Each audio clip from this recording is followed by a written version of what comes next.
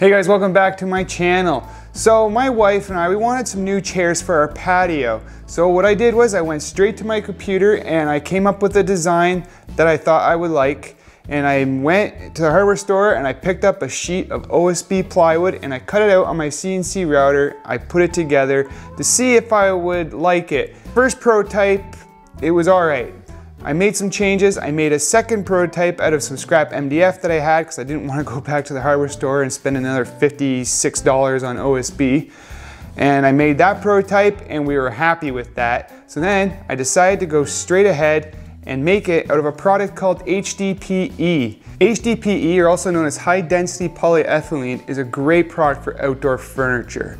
It's heavy, it won't blow away in the wind, it can withstand extreme temperatures. Now one of the best parts about this is I essentially will have no waste when I'm done with this. Nothing will go to the landfill because all my scraps, even the shavings out of my dust collector will go back to the manufacturer, where they'll recycle that into more HDPE sheets. And speaking of waste, I designed this chair so that I could get two of them out of a 4x8 sheet of HDPE. If you want to make these chairs for yourself, you can. I'm going to offer you guys the SVG file for this. Um, you can go to the link in the description to my Etsy page where you could purchase them. So now that we have everything cut, the mess is cleaned up, we're gonna add a quarter inch round over to everything here. And we're gonna do that on the router table. Router table is the easiest way to do this, the quickest and most efficient way. So let's head over there and start making another mess.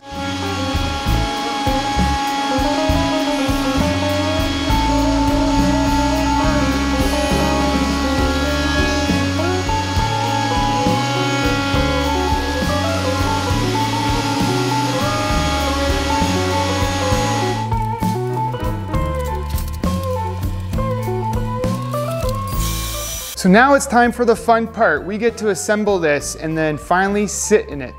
Now I made a variety of different jigs to assemble this so that I don't have to measure anything. I did this because I plan to mass produce these chairs and I'm expecting in the springtime I'm gonna be busy whipping these things out so I need jigs that can help me put these together quickly and efficiently. So the one here I have is for assembling the back, this is for a back support that attaches to the seat. Um, this here is just a jig to help me hold the chair up as I am assembling it so it's not flopping around and falling down on me, kind of like me on New Year's, and just a variety of different spacer blocks. So the first jig I have here is just this little block with a hole that's in the center so that I can drill a hole in the end of this back support piece so that I can follow up with a bigger drill bit to put this threaded insert in. That's gonna hold the armrest as well as the boards for the back of the seat.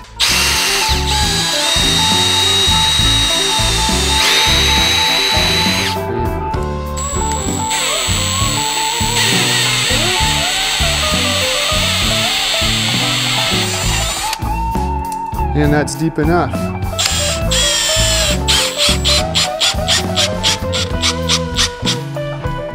And I'm just gonna put it in so that it's just below that surface there. It's way easier to do this now than when it's all put together.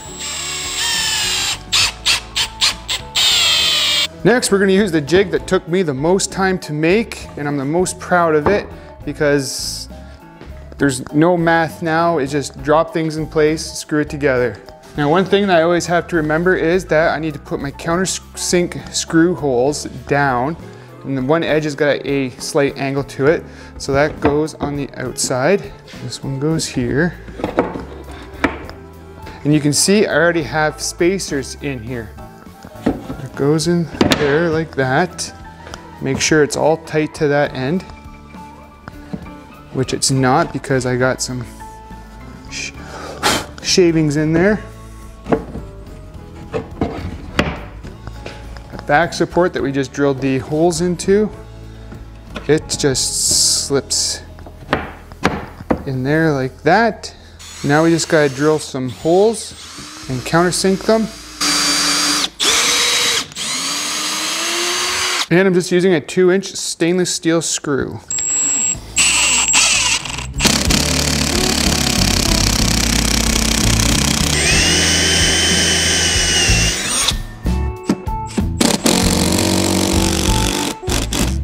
Next we need to add this guy right there. And for that we have a spacer block and a spacer block and a spacer block.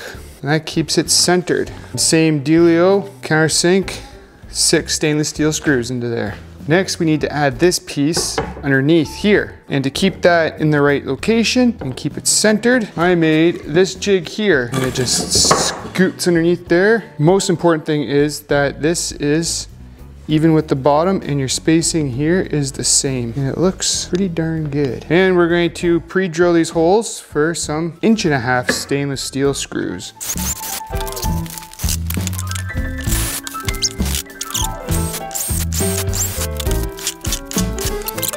Now before I get carried away, these blocks will go in here like this. And this is what ties the armrest to the front legs.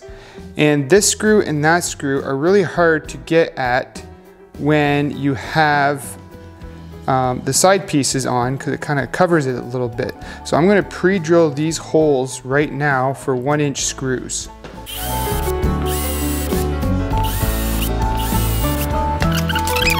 These blocks go in there. So we gotta add a two inch screw in here and an inch and a half screw down here somewhere. Now these leg pieces, we're going to work on them right now.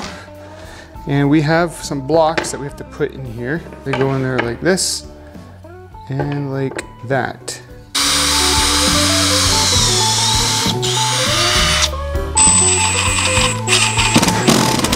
Next, we're gonna use this jig here to attach our back and it just slides in there like that. It just helps to hold it upright. This one slides in there. So we just drop it in that spot there, the hole, smack her in with a mallet.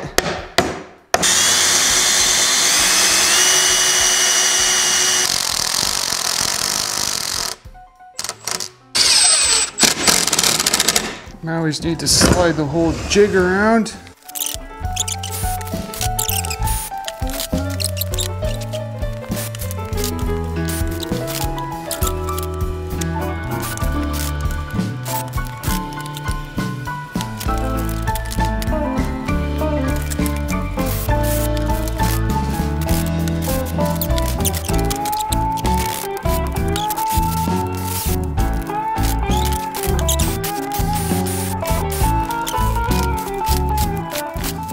Now with the jig scooted back a little bit, we can attach a leg. And that's getting fastened just with a washer, a lock nut,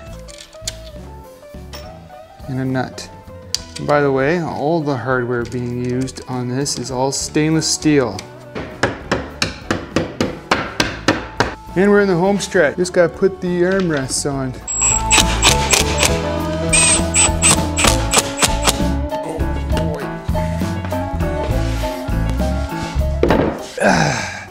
And there you have it. A chair made from HDPE. And it's a very sturdy chair and it's super comfortable. So if you like this video and you enjoyed it, uh, please hit that subscribe button, hit the notification bell so you never miss when I upload a new video. And like always, we'll see you in the next one. Might take a nap.